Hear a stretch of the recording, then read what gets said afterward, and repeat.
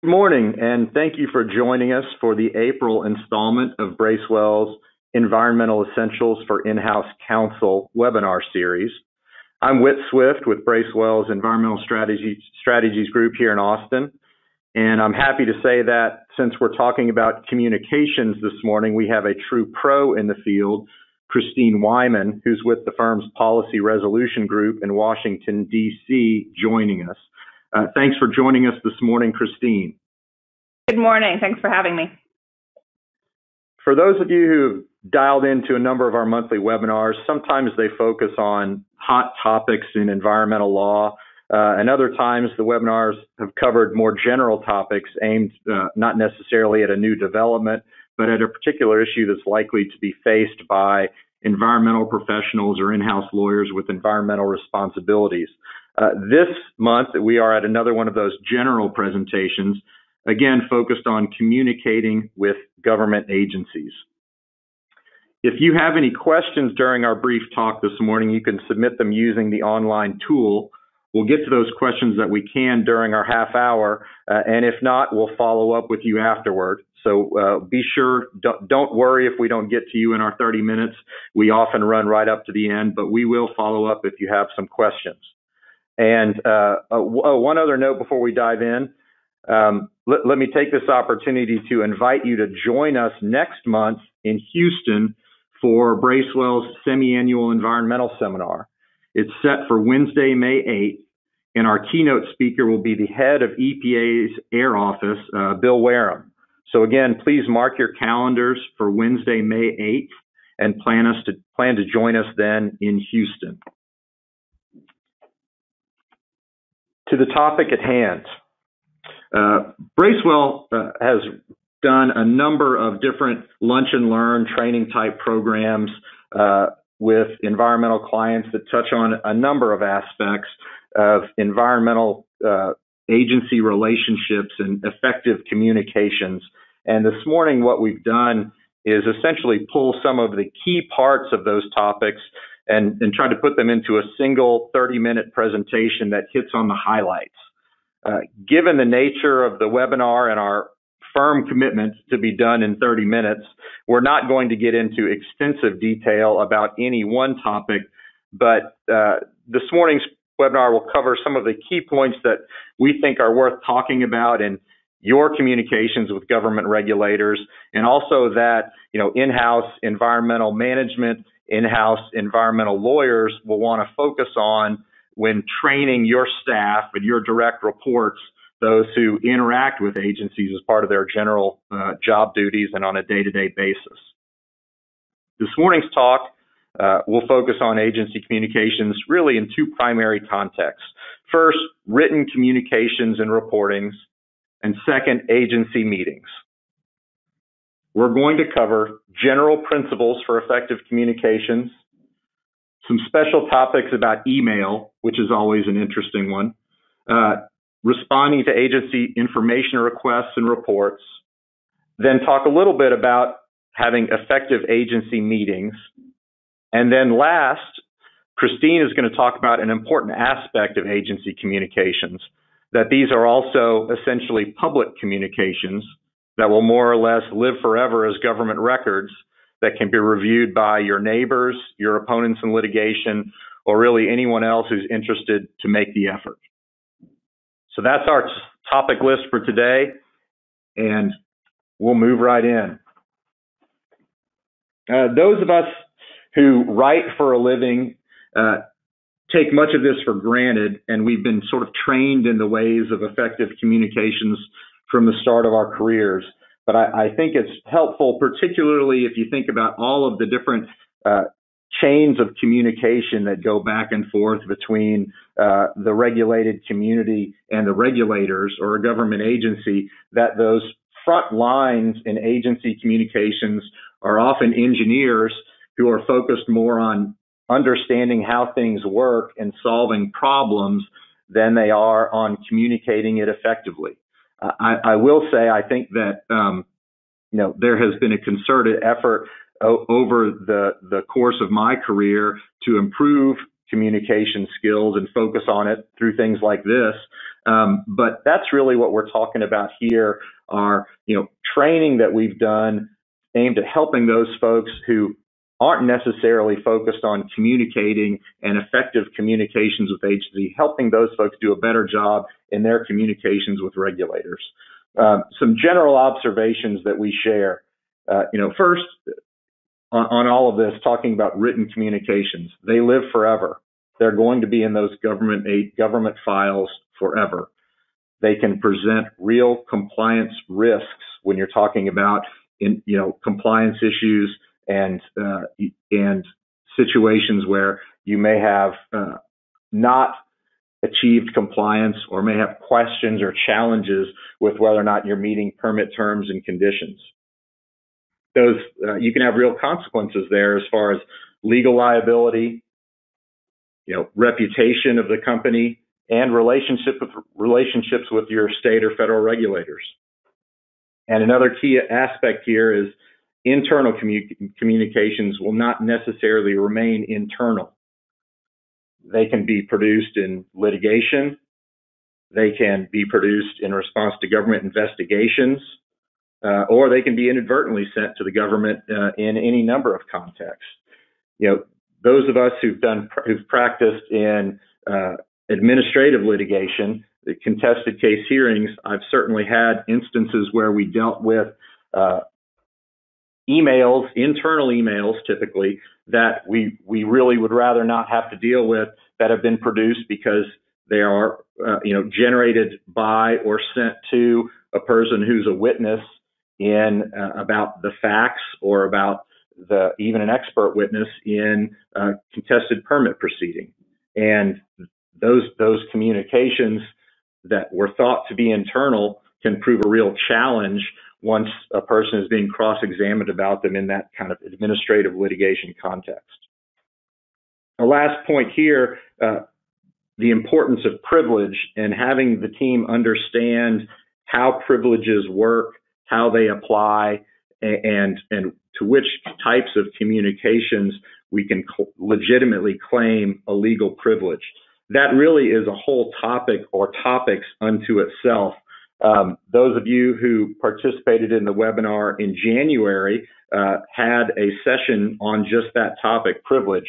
Uh, because we just talked about it, we're not going to get into privilege issues in any detail today, but that is certainly a very important aspect of the training that we've often done with folks uh, about communicating with agencies and effective communications is, you know, what those privileges are, how they apply, and how we can maintain them for key communications.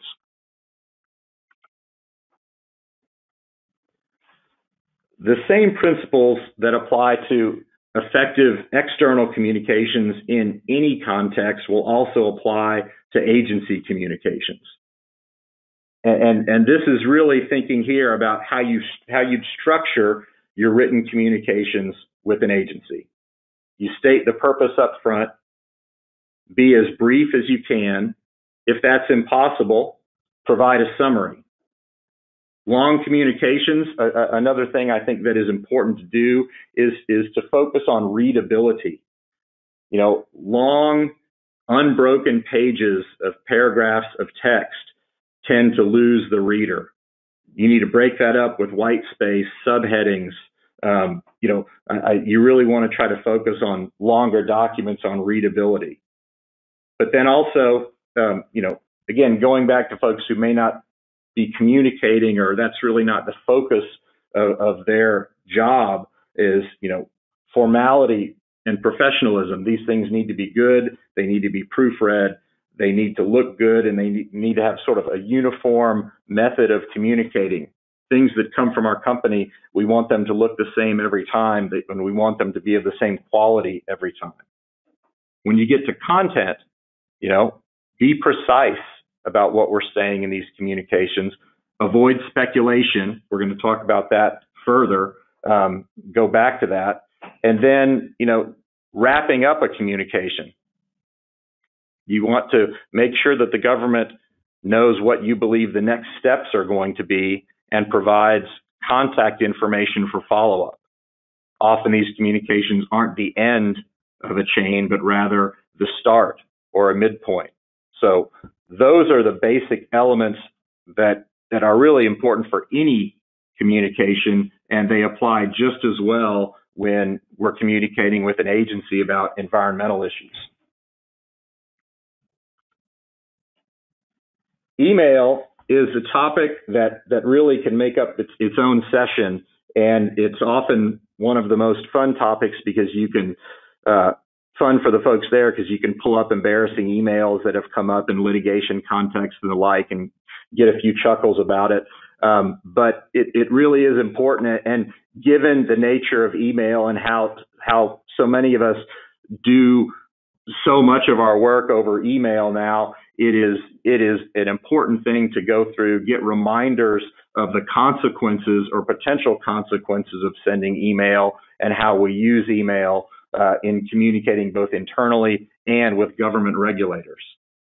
First and foremost, you know, follow the same rules that you would if you were sending a letter. You know, the the old form of communications. We've got to treat email like a formal business communication.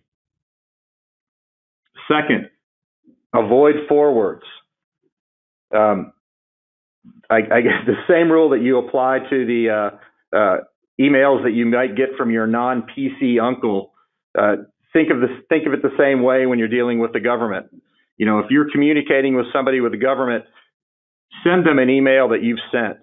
Forwards and, and I've seen specific examples of it in my practice.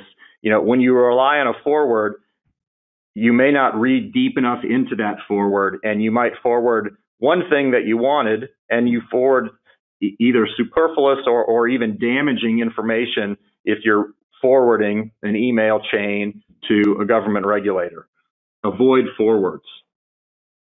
We've also talked with folks about particular considerations for internal email messages. Uh, most importantly, and, and a lot of this is, is because of this, internal email may not necessarily stay internal. As we discussed earlier, there are various means, whether it's through a government investigation, through discovery, through inadvertent disclosure, that those internal documents may not stay internal.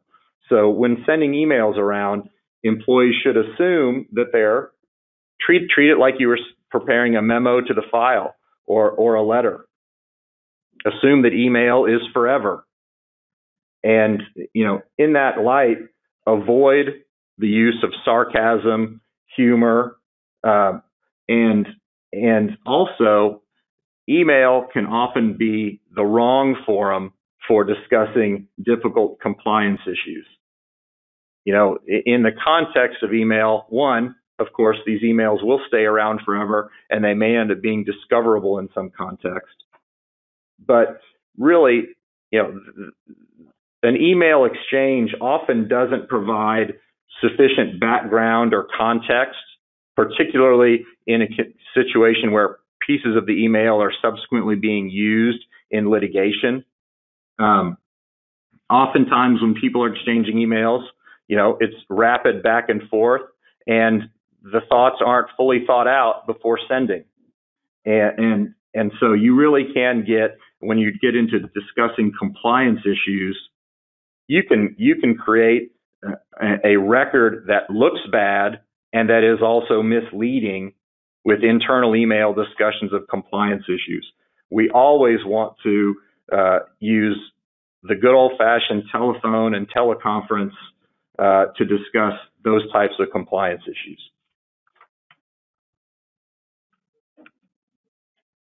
Moving to responding to agency uh, information requests or agency reports, some general principles that we've talked about um, with folks. First, you know, always assume an enforcement purpose is behind the, the either the report that is that you're preparing or the response to the information request that you are writing up.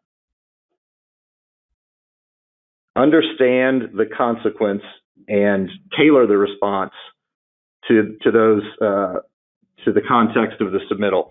Uh, what we're talking about here, uh, an example there would be um, filling out a response to a questionnaire to the TCEQ about an emissions event. You know, the context of that request is there are regulatory standards that the agency is going to review in evaluating whether or not you meet an affirmative defense to enforcement.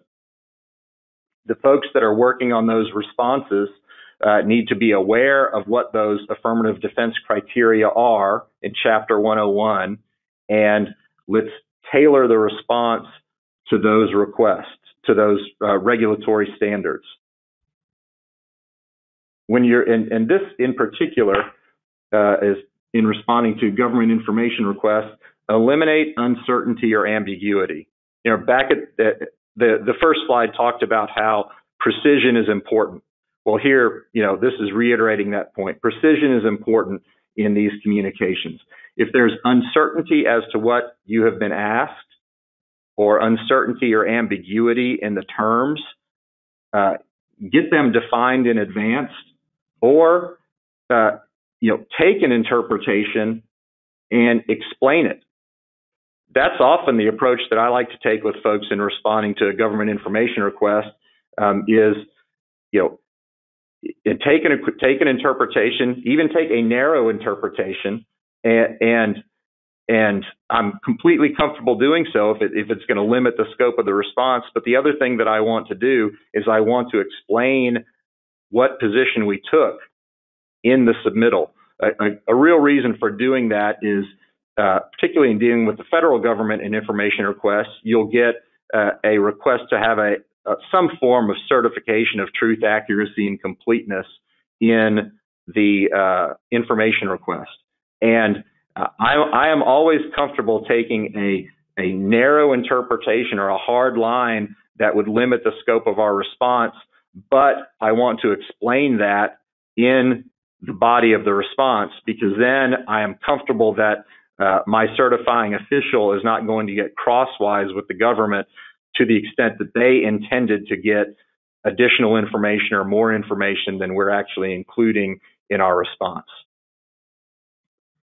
Uh, along those same lines, uh, provide only the required or requested information. You know, filling out a response to a questionnaire or responding to an information request is not the context to provide additional information that uh, you think the government might be interested in, but they didn't specifically ask for. Uh, similarly, no point in, in, and avoid any speculation about causes or information that's not known. You know, give information that's known when it's not known, say so. But uh, no point in speculating, and certainly, you know, read the questions closely, focus on precisely what they're what they have requested, and give just that information and nothing more. Uh, one other, uh, particularly, this is going to be in the context of a you know an EPA uh, Clean Air Act or Clean Water Act information requests, look for objectionable questions or objectionable approaches in the information request. Uh, they often will have objectionable approaches, uh, but I think it's one where you pick your battles. You know, we, we really hear sometimes you, you've I, I have seen forms of information responses to information requests where a company will will you know in response to every question the first the first paragraph of their answer is a handful of largely empty objections that the company actually then doesn't rely on, but they just they kind of always do it that way, and they object that it's overbroad and unduly burdensome and uh, blah blah blah, and then they just dive right in and, and give a, a, a, complete response. You know, I, I really think a a smarter approach is to you know pick your fights, look for something that is truly objectionable, and when it is objectionable, call it out and, and stand on the objection. And if part of the question is not objectionable, provide that. But if you're going to object, you know, object when you have a real grounds for objection, and when you do so, stand on it. Um, we've had success with that with government information requests in the past. You know, we had one a few years ago where the government sent an information request that almost read like a uh, request for admissions uh, that you'd see in litigation, where it, it was uh, it was sent in the context or under the authority of Section 114 of the Clean Air Act, but it said, uh, regard to these facts that the government thought it had uncovered in an on-site inspection, um, admit that uh, this is a violation of, uh, you know, Section blah blah blah, Part 68, or if not, explain why it is not a violation. And we objected to that completely. We did not play ball with this sort of request for admissions type of information request, and it was effective in that um, we did not hear further from the government in response to that uh, following our response. They actually did not pursue enforcement, and we avoided creating a series of admissions, which is what the government was looking for when they when EPA Region 9 sent us that request. Last, shifting gears here real quick. Um, you know, uh, another thing that we've talked about with, with, with our clients in these training sessions, in addition to written communications with agency, is agency meetings. A lot of this, you know, really you'll see that the same principles basically apply, but agency meetings are, are important. You'll have them in the context of permitting. You'll have them in the context of regulatory advocacy. You'll have them in the context of enforcement and enforcement defense. And I think there are important principles that you always want to uh, uh, get your team uh, aware of and get everybody on the same page when you've got an agency meeting uh, coming up. You want clarity on the purpose and the goals of the meeting. What are we trying to get from this meeting? What do we want uh, the agency to do to us or to stop doing to us? What do we want them to give us? Be organized and prepared, of course. Have, a, have an external agenda. Have internal detailed talking points. Have assigned roles. Um, you know, have all that ready in advance. Meet with the right people. Uh, you know, understand, you know, the agency structure, the agency hierarchy, and know who to meet with at the TCEQ or at EPA. Uh, use a professional tone. This is something that's important in meetings, uh, which is you know, you've got to be able to disagree with the agency without making it personal. Um, this is something, you know, I'm I'm always asking the agency for something in these meetings, and I'm not always getting what I want. I don't think anyone is, and if you're always getting what you want, I, you're probably not asking for enough from the agency. Um, but you've got to be able to uh, have a team there that can that can run into disagreements with the agency while still making it a productive meeting and not making it personal. Um, next, know where the agency stands when you walk out.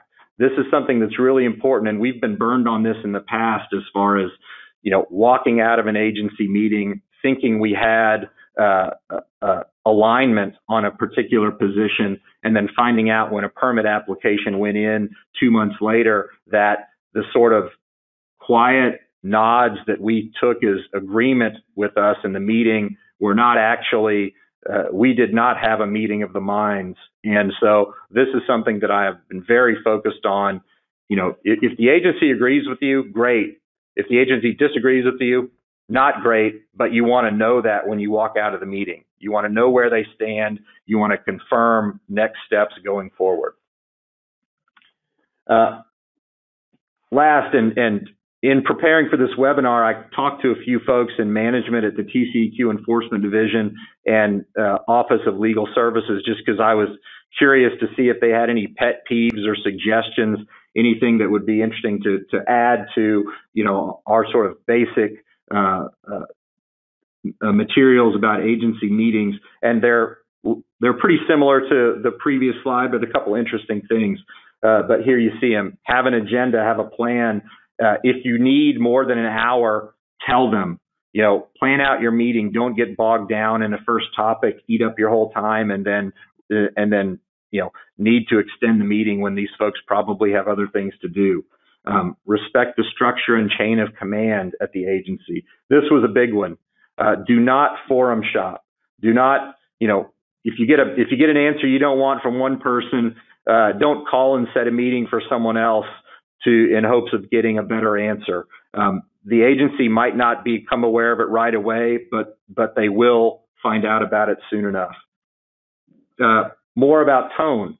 You know, don't come in defensive, condescending, attempt to intimidate folks from the agency, particularly new folks. Uh, those things generally backfire, and and uh, you know, folks' bosses will will be in their corner. Um, one other thing they said is, you know, just recognize that agency positions can evolve over time. So if you come in pounding the agency over the head with, well, this is how we've always do, this is how you always do things, uh, you know, those things can change. Now, with our, our last few minutes, um, I want to get back to this thought of written communications, going back to our written communications. And let's have Christine talk a bit about this aspect of agency communications as public communications. Sure. Thanks so much, Whit. So Whit's provided a lot of good advice and expertise on best practices for communicating with regulators. But I'm here to remind you that anytime that you're communicating with a regulatory agency, you should treat that communication like you're communicating with the pub with the public. And that's because any email or written communications, as well as advocacy materials that you provided to the agency, are going to be considered agency records that are subject to disclosure under an open, open Records Act, such as the Federal Freedom of Information Act, FOIA, or a state equivalent that would govern disclosure by state regulatory agencies. Uh, so how is it that your documents might be actually disclosed in this manner?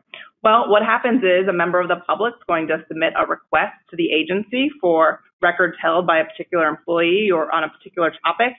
And when the agency is reviewing the responsive documents, your documents, your email communications and your advocacy materials might be considered responsive to that request. And if so, and if those documents um, are not uh, subject to uh, exemption for confidential business information or some other um, privilege, then those documents are going to be produced by the agency. And I think it's important to keep in mind that, in particular with federal agencies like EPA, when they're disclosing these materials, they're not just providing them to the person or entity that submitted the FOIA request. They're actually now providing them, um, they're putting them up on a website online. And so really anybody has the opportunity to peruse those documents and see what's in there. Uh, so, so why though is there a concern? Um, I think there's a few reasons that we need to keep in mind in advance of having any communications with the agency, um, just so that we're we're going into it with our, our best foot forward. Um, first, there's always a potential for disclosure of confidential business information. Um, you do have the ability to designate and substantiate those claims, but you have to be mindful to do that, and you have to be mindful too of you know that you're not submitting maybe your vendors or your contractors uh, confidential business information.